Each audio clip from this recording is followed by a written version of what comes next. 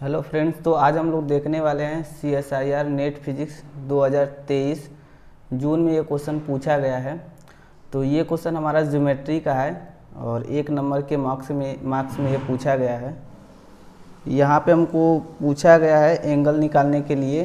B ए सी इस diagram में ये एंगल निकालने के लिए दिया हुआ है। इसमें दो सर्कल दिया गया है, सेमी सर्कल है और दो पैरेलल लाइन दिए गए हैं। इन दोनों पैरेलल लाइंस के बीच में दो सेमी सर्कल टच करते हुए इस डायग्राम के अनुसार रखे गए हैं।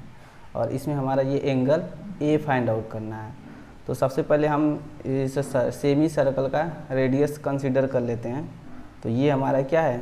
बी सी है। अगर इस सर्कल का रेडियस आर एज्यूम करते हैं तो ये भी हमारा आर हो जाएगा और ये भी आर हो जाएगा। तो इस तरीके से ए सी हमारा हो जाएगा। आर प्लस आर यानी कि टू आर हो जाएगा। तो ए सी हमारा टू आर हो गया और बी सी हमारा कितना हो गया आर।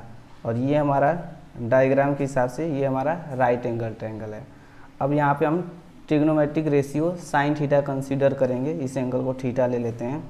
तो यहाँ से अगर साइन थीटा लिखेंगे तो साइन थीटा क्या होता है? Perpendicular upon hypotenuse. और परपेंडिकुलर हमारा क्या है? यहाँ पे बी है और हाइपोटेनस हमारा क्या है? ए है। और बी का वैल्यू डायग्राम के अनुसार आर है और ए का वैल्यू है टू आर आर आर यहाँ पे कैंसिल होगा तो आ जाएगा वन बाई टू तो यहाँ पे sine theta is equal to one by two हो गया. वन बाई टू अगर हम साइन थीटा के टर्म में लिखेंगे तो ये आ जाएगा साइन थर्टी डिग्री यानी हमारा यहाँ से थीटा का वैल्यू निकल के आ गया थर्टी डिग्री तो बहुत ही आसान क्वेश्चन पूछा था. एक नंबर के मार्क्स में पूछा गया क्वेश्चन है.